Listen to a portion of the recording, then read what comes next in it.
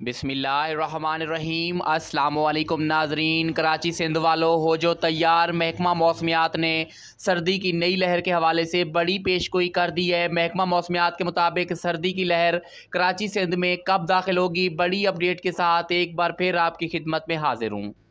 लेकिन नाजरीन तफसीत में जाने से पहले आपसे गुजारिश है कि कराची सिंध के मौसम के हवाले से लम्हा ब लम्हा बखबर रहने के लिए हमारे चैनल वेदर इन्फो को सब्सक्राइब कर लें और वीडियो को लाइक कर दें। बहुत शुक्रिया। नाजरीन, महकमा मौसमियात की ताज़ा तरीन पेश गोई के मुताबिक कराची सिंध में पिछले दो रोज़ से शदीद सर्दी का सिलसिला जारी है, जिसकी वजह से कराची में दर्जा हरत काफ़ी ज़्यादा गिर चुका है। नाजरीन, आज तेईस जनवरी के रोज़ महकमा मौसमियात ने एक और सर्दी की लहर के हवाले से बड़ी पेश गोई कर दी है।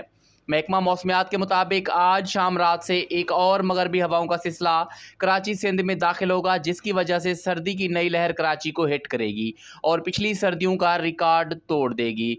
सर्दी की नई लहर बहुत ज़्यादा ख़तरनाक हो सकती है, जितना ज़्यादा हो सके एहतियात करें। महकमा मौसमियात के मुताबिक सर्दी की नई लहर आने वाले तीन से चार रोज़ तक जारी रहेगी।